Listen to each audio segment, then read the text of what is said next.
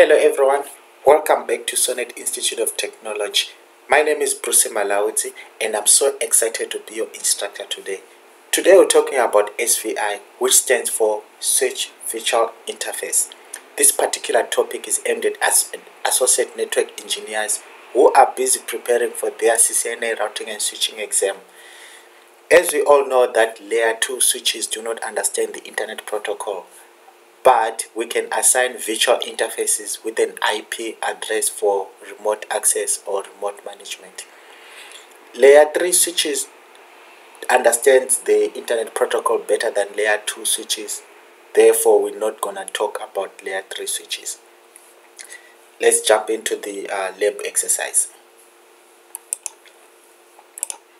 In this lab exercise, the SVI lab exercise, the minimum requirement is one layer 2 switch, which is the Cisco switch running version 12.4 and above, and you need one PC.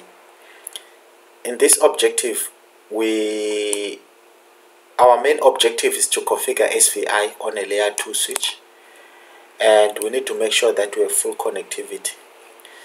These are the steps that we'll take First of all, we define a virtual interface. We'll then assign an IP address and then we'll assign the default gateway. In step 4, we'll configure the switch for telnet or SSH access. However, if you don't understand step 4, please refer to the video CCNA SSH, which gives you better understanding on how to configure SSH on a Cisco router or switch. Let's dive into the configurations. Here we are in GNS3 uh, topology.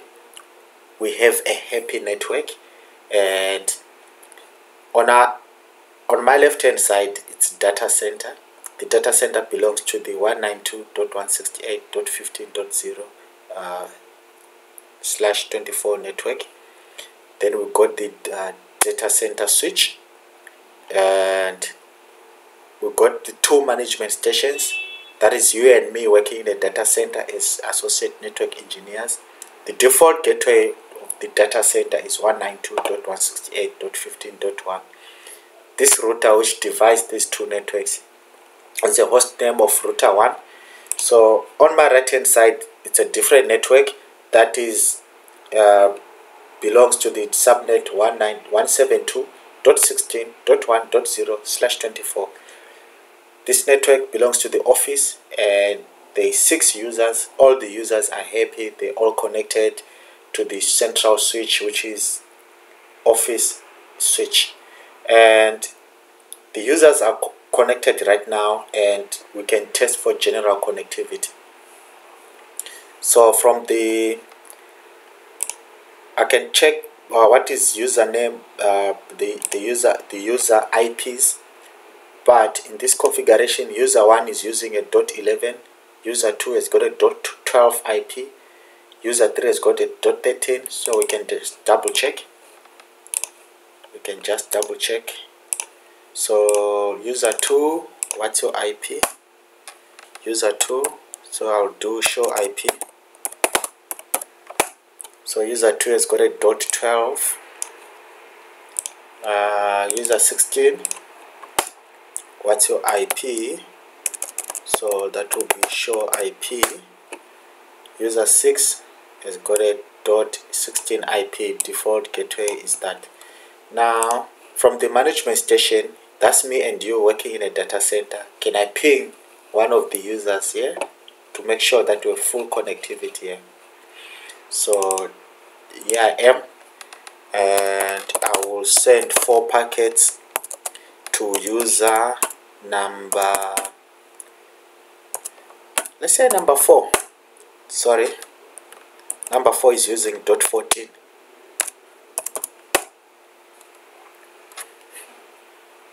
okay uh, so I do have ping reply which means I have full connectivity. Um, you might be wondering why am I using so many devices for this particular exercise uh, this particular exercise, as I said earlier on, you just need one PC and a switch. But for this matter, I just wanted to understand, to make you understand why do you need an SVI.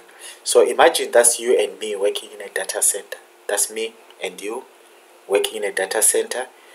these are the users connected to the central switch every time there are issues on the switch a call gets logged to us as the engineers to come and fix the switch so what we normally do me and you we carry our laptop we walk across the building a couple of blocks to the office plug into the uh, console direct and we do the configuration we do the work get done and then we go back to the office in the data center.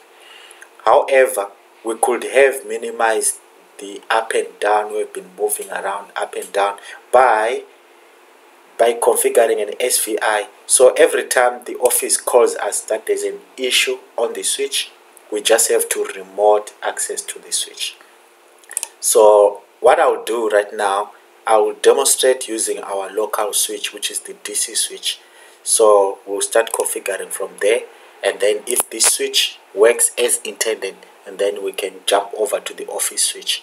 So this is where we will do our configuration so we are on the Cisco switch. We need to do a bit of configurations. So we need to get into configure global configuration mode that is conft the first thing let's define the uh, virtual interface that will be interface VLAN you can call it interface VLAN 1 so we are in the interface mode. Then we can assign an IP we can give it an IP of 2 on this uh, slash 24 subnet that will be 255.255.255.0 enter. Then I can bring the interface up by giving it the command no shutdown. At this moment I can exit to back to global configuration mode. And I have to define the username and the password that will be username. Uh, Bruce the password is rated uh, at this moment I can use the keyword secret. So secret is better than password. Secret actually uh, hashes the password value. But password the keyword password does not uh, hide that password. So it doesn't matter anyway for this uh, purpose of demonstration. So username Bruce password red hat. Then I need to enable the privilege mode that is enable. Then I can say secret if I want to or password. So let me use secret this time. My secret is red hat. And then the next thing is to define the domain name.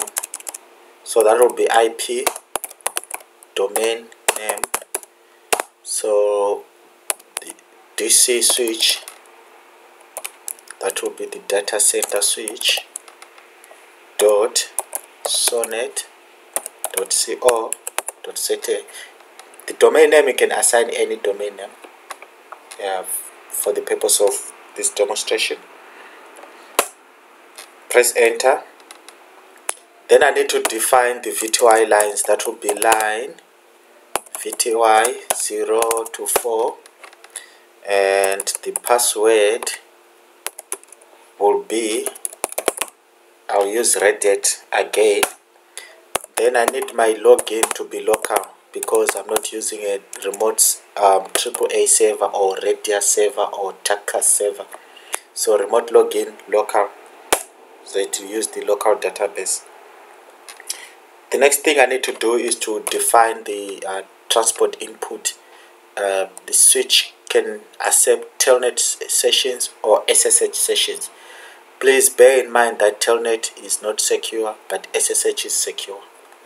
So the keyword is transport. Transport input.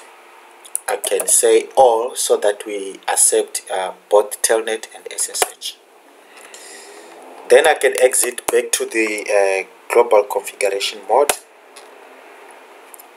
the next thing is to create the digital certificate for use to be used by SSH so the command is crypto key generate RSA, general keys, modulus. So let's use uh, a modulus of 1024. Okay, the key has been generated as you can see. The next thing we need to do is uh, enable and then we can save our configuration so we can say write to memory which is WR so we can exit from here exit from the switch. And the first thing we need to do is from the management station uh, let's check for general connectivity. So can I ping that switch IP that is the dot 2 so I'm sending four packets that is minus C means count 4 so the IP is 192.168.15.2 so I have connectivity. The switch is responding back so can I telnet to the switch? That would be telnet uh, the IP address that would be 192.168.15.2 okay so I'm being requested for username. The username is Bruce. The password is Red so I'm successfully connected to a switch as you can see. Can I escalate my privilege by doing enable. Yes I should be. Enable the password. Enter my secret password. Yes I'm enabled. Can I see which interfaces are up? That will be show IP interface brief. As you can see I'm fully connected to a switch and I can do um, administration configuration whatever you may name it and as you can see I've got an IP here on VLAN 1 so let me exit from here. Exit clear the screen. And can I SSH to the switch? So that will be SSH uh, the username is Bruce at the IP address of the switch. That will be 192.168.15.2 we are presented with a message so we just have to accept the connection. So I'll type in yes. The password we defined was red hat.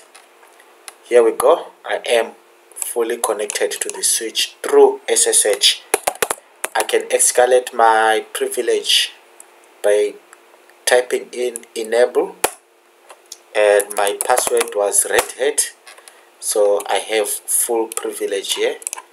I can do show IP interface brief. Yes we are fully connected. So I can exit from here.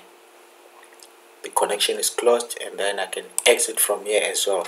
So we have successfully uh, configured an SVI on the uh, data center switch so the same process and the same configuration the same procedure can be applied to the office switch. So every time the office switch breaks we don't have to carry our laptops and walk across the building like a bunch of fools.